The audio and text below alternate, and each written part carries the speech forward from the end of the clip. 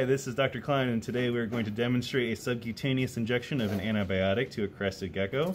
So this is our grateful little test subject today and we're going to demonstrate the technique.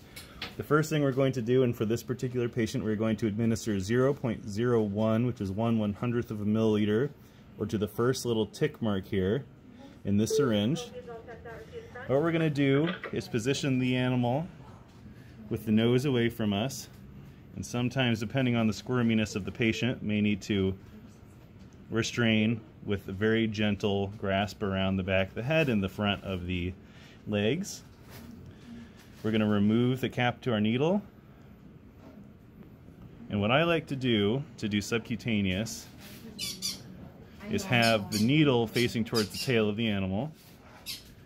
I'll use my thumb to find, thumb or middle finger to find a bit of loose skin and push it up so I can see where it's most loose.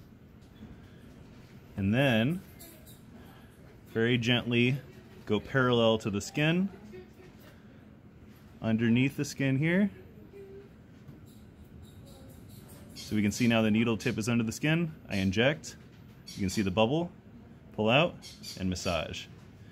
It's important to stay parallel to the skin so that we don't go in and poke the ribs or the muscle or go into the chest cavity, which is pretty easy.